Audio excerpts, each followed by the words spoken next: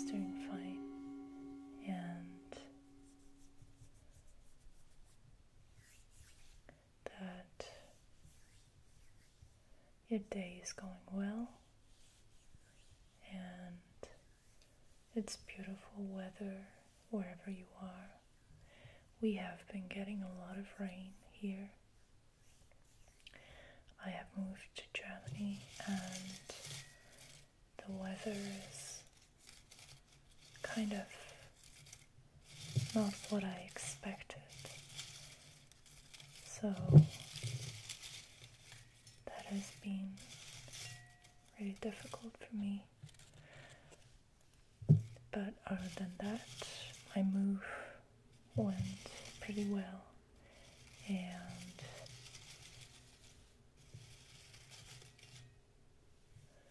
thank you everybody for all the support that you have given me, all your kind words, and your patience. I'm uh, pretty much back on track by now, so even if it's a little bit late, I'm able to do the monthly reading for you. And without any further ado,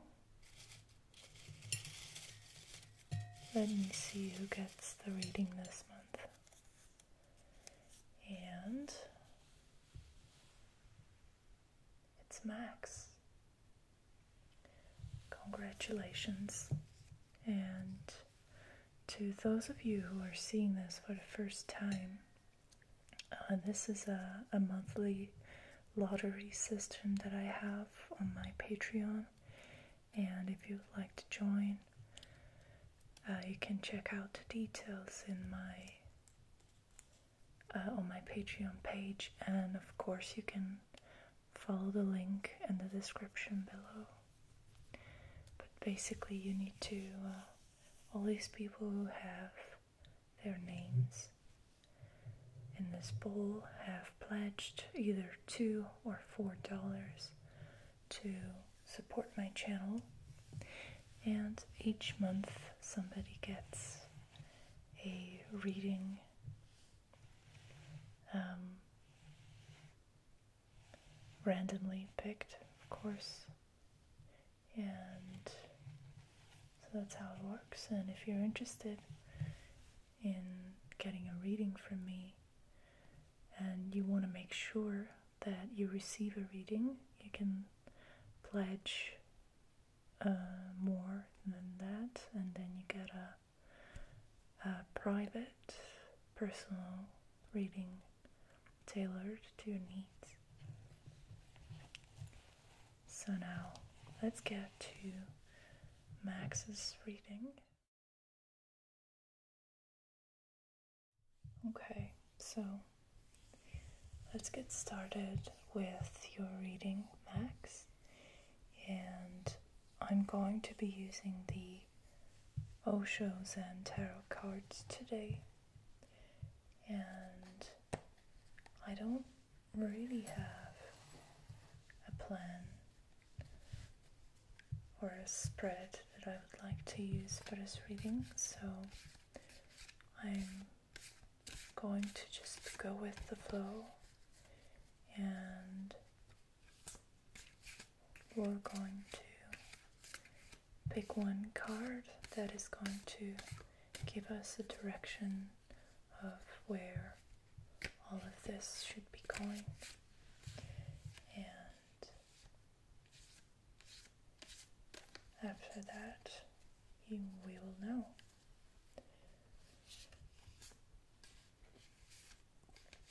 So I'm just doing a little bit of shuffling with the cards.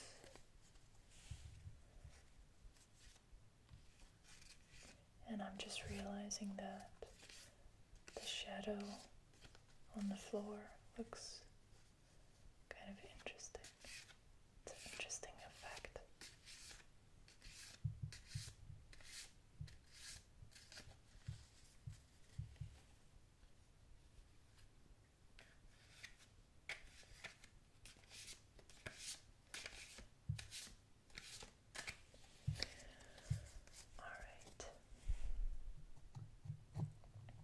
So I'm going to do a quick um, relaxation before we get started with your reading, Max. And for that purpose, I would like to ask you to count with me from 5 to 0. And I'm going to be guiding you through it. And all I all I ask of you is that you follow my hand movements and the movements of the shadow.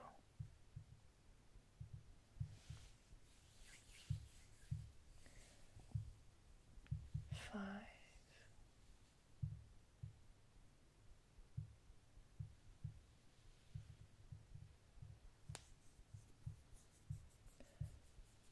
Four,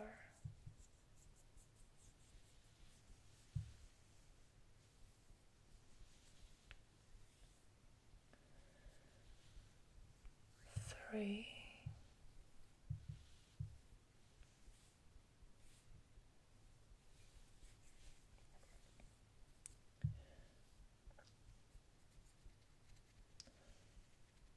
two,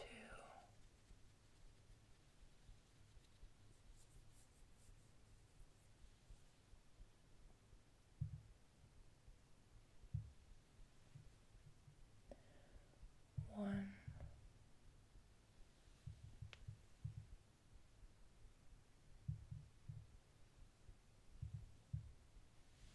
and zero.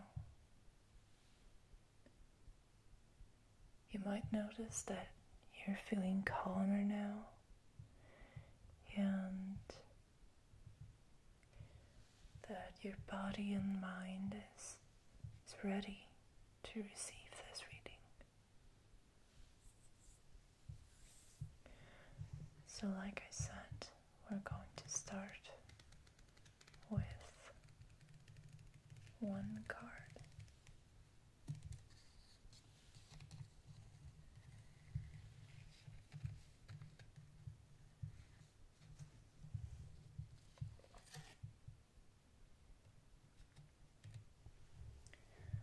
All right.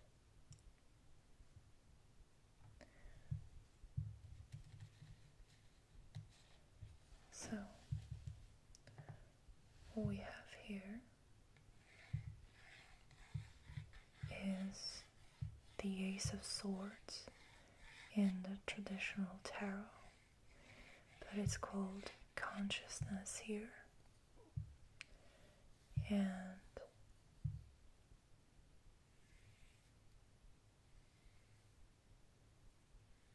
I find it interesting that this card came up because I was kind of getting the feeling that you need some help with figuring out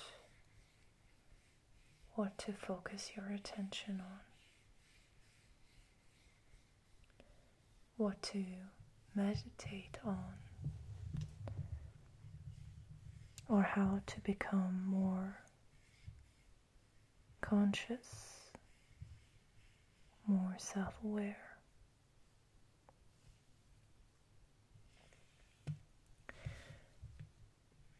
And so, in the traditional tarot, the Ace of Swords represents a uh, a mental breakthrough when you suddenly find a solution to a problem. You find the last piece of the puzzle, and everything suddenly adds up. You have an idea. You uh, receive some good advice. Or things are simply being revealed to you in some way, shape, or form. In the Osho Zen Tarot, this card has a slightly different meaning, in my opinion, because it elevates the um, the meaning. It adds a, another layer to it just by um, the fact that uh, this deck was made um, to follow the Osho tradition, and it's really undistinguishable from his teachings, which I need to admit that I'm not 100% familiar with, but I get the idea, I get the gist of it. And it's all based in uh, a quest for freedom and the freedom from the mind, the ego that is is limiting to the self and is creating all kinds of trouble, and that's especially prevalent in the sword suit. This kind of mental anguish and entrapment, and so in this card, we uh, can see the uh, the significance and the importance of of becoming empty through meditation and practicing uh, a different view, a different perspective, even if you're not really interested in meditation and as such, you can still benefit from a a more spiritual and a more um, global perspective in your life right now. So let's see how you can get closer to this new perspective that you need.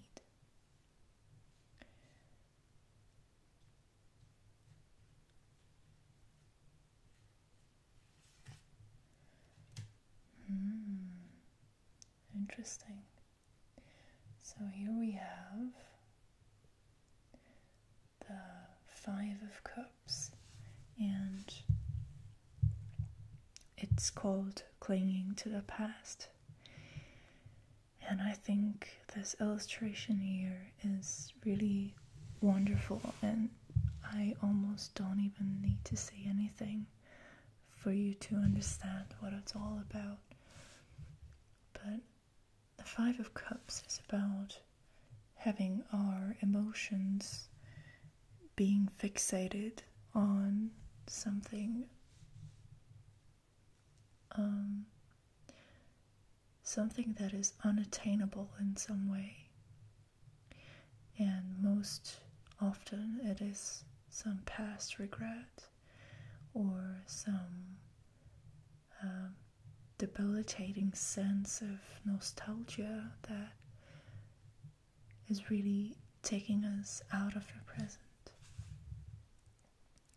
And if you look at the simplicity of this card in contrast with the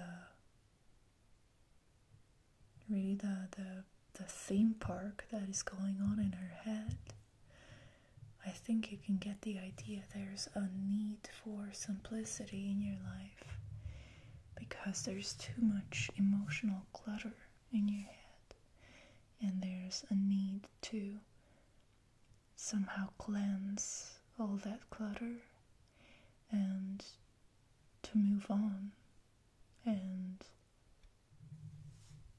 move on to where is the question. So we have the present, the past, And now I would like to get a little bit of an insight into the future.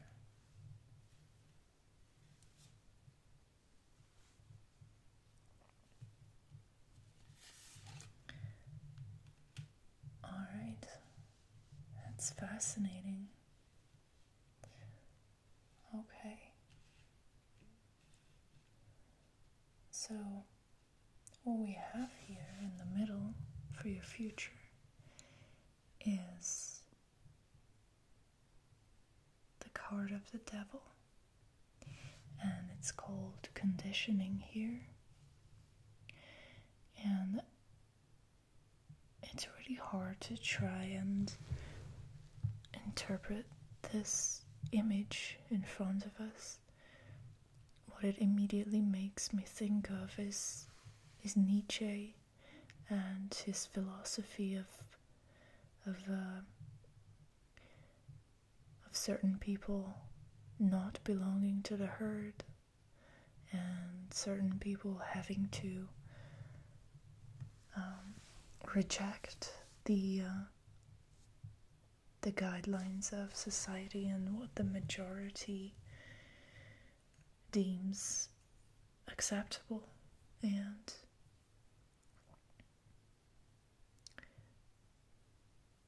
and I I guess that um, that this image is trying to tell us that you are not who you think you are and it's time to revisit certain problems of identity and how you fit into society and what you want. And the devil card is traditionally associated with the ego and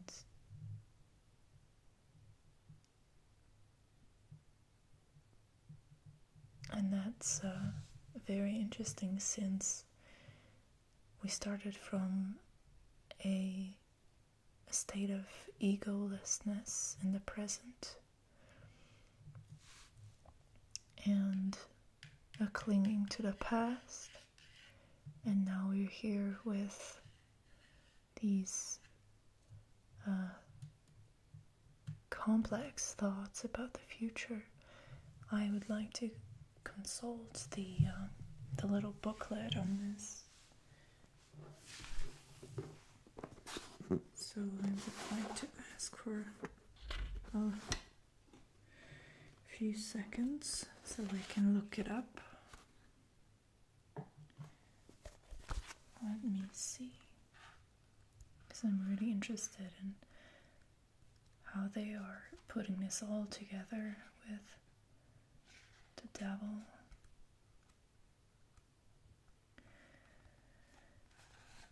Hmm. Okay.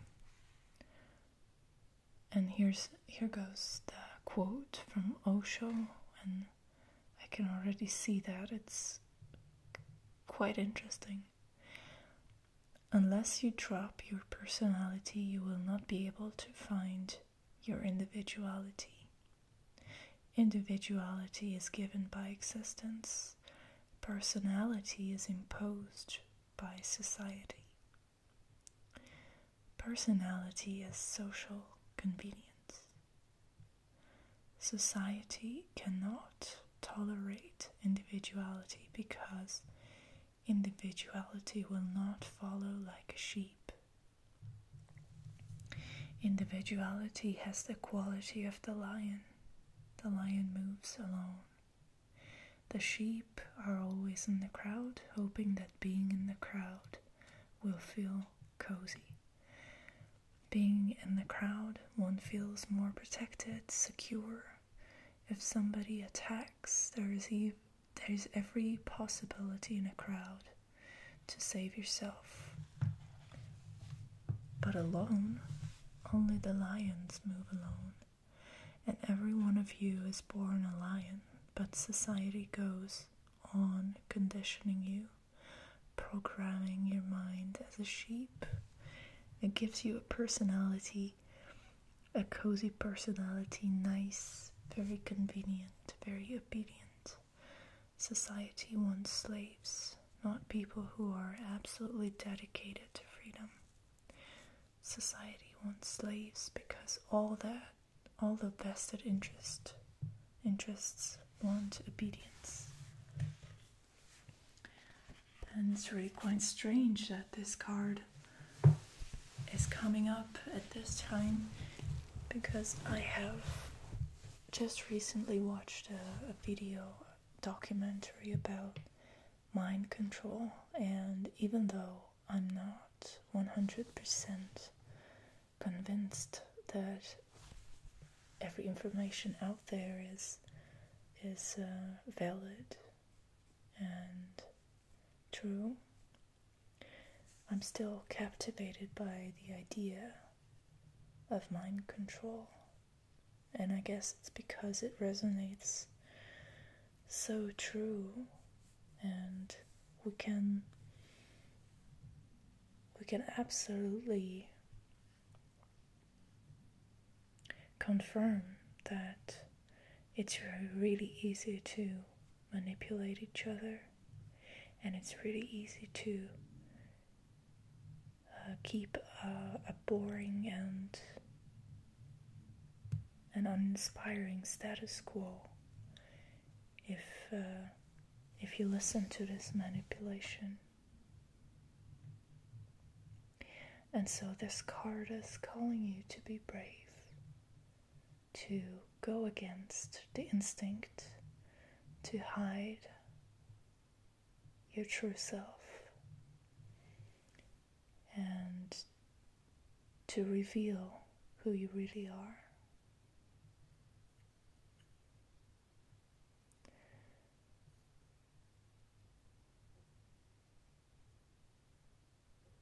And even if it seems dangerous, even if it seems wild, it's the right way to go.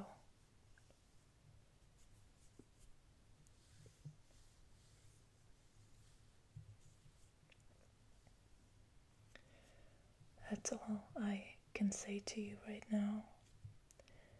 I hope that you like this reading. And if you have any questions, feel free to message me. I would like, of course, if you have time or feel like it, I would like to get some feedback from you on this reading. And um, I just want to say thank you for supporting me. Thank you to Max and thank you to everyone who has supported me. And thank you for watching. See you soon.